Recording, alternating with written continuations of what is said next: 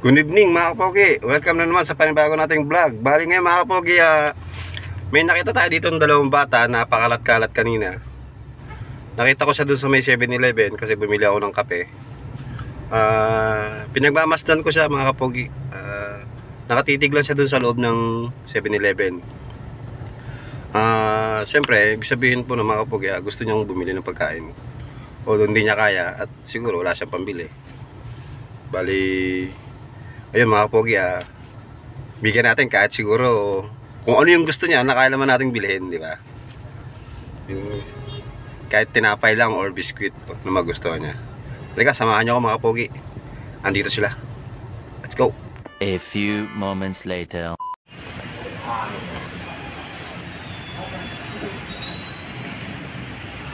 Bakit sila nakatingin sa, sa loob? Gusto niyo kumain, no? Gusto niyo kumain. Bata. Bilihan. Bilihan ko ng ano. Bilihan ko ng juice, Brad. Bawal mo. Gusto mo bumili? Gusto mo bumili?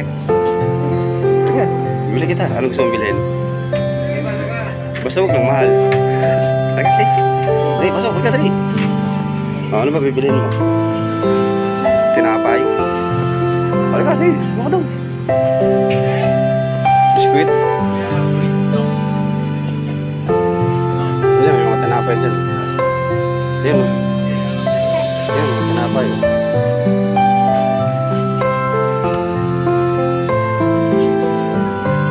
Pili ka. Ito, ayaw mo na buta.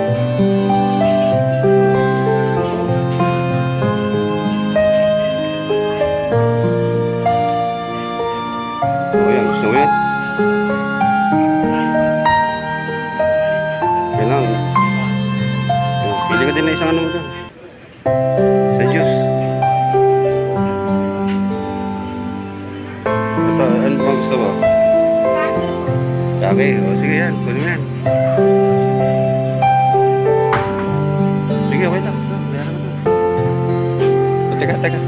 Teka, teka. Ikaw, gusto mo rin? Gusto mo rin? O, sige, kuha ka din daw. Ano sa'yo? Hindi kayo mabusog dyan. Ito, ito na sa'yo. Eh, ano yan? Ano ba yan? Stick lang yan eh. Ha? Ha?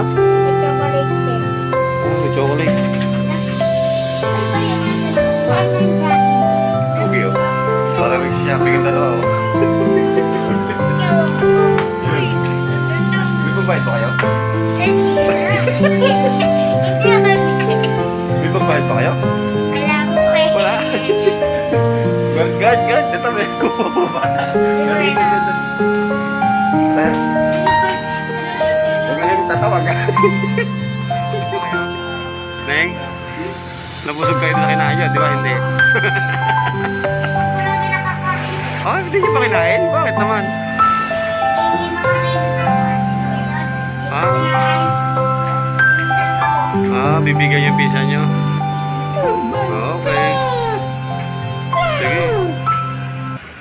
A few moments later.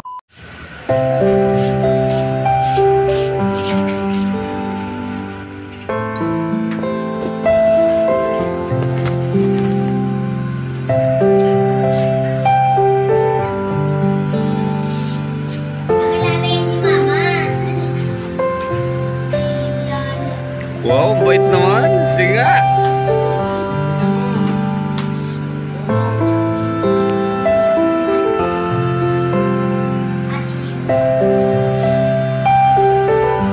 Ah, ito po. Galing to sa puso ko.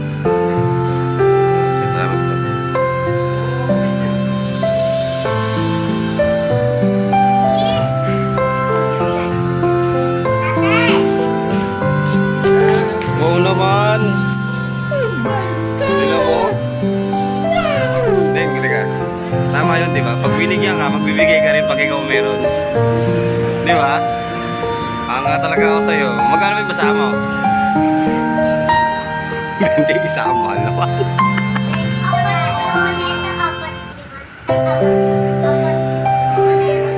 Ang bait mo.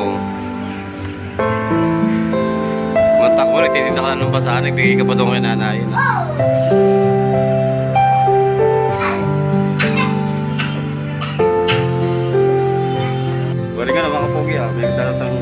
Dalawang bata dito sa 7-Eleven sa Tarota. Si Brad nga pala, ito sa Tarota. Si Brad. Tataka ko kami, kaya kami pumunti tao. Ang lead. Lahat naman na mga ako.